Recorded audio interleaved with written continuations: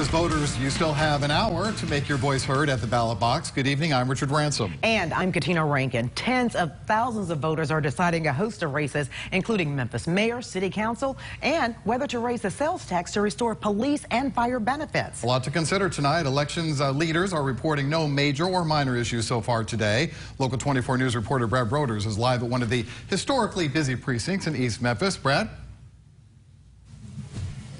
Well, Richard and so far so good here at Second Baptist. Poll workers here tell me the votes so far today on this election day are outpacing those during the last city election in 2015. That message also being shared by those at other precincts across the city of Memphis. Now, this afternoon, I visited three precincts, both in Cordova and in East Memphis. Precinct leaders there each reported either a steady or solid stream of voters throughout the day, added the typical post-work surge, which we're in right now. The Shelby County Elections Administrator anticipates as many, if not slightly more voters will participate today compared to the entire early voting period.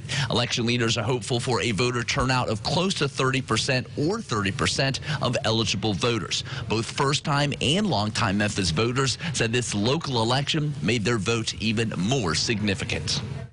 It's crucial. I mean, it's a smaller populace than the federal, so it's your vote matters more than it does there, and uh, it impacts you more because it's closer to you. They do most of the work for our own city, so this this is a must. People should come and vote for city.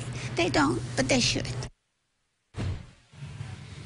Now, Shelby County elections leaders did report some minor issues before voting started this morning, including a printer which had to be restarted at a voting location in Orange Mound. Computer techs are on standby if any issues emerge during this last hour of voting. Reporting live in East Memphis, Brad Broders, Local 24 News.